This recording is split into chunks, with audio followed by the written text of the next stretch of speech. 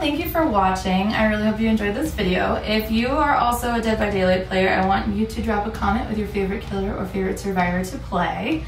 Also in the description below, you can check out my social media links. You can follow me on Instagram and Facebook to get behind the scenes updates and vote on thumbnails, do lots of fun stuff. There are also pre-save links for Spotify. I have a few singles coming out in the next two weeks. Really excited about that. So you can click the pre-save link. It will tell you when the single comes out as well as it will help Spotify know that the song is popular and it helps me out because then they will tell more people about it as well. And the last thing is I have recently started a Twitch stream. I will be streaming live Wednesday nights at 10 p.m. Mountain Standard Time.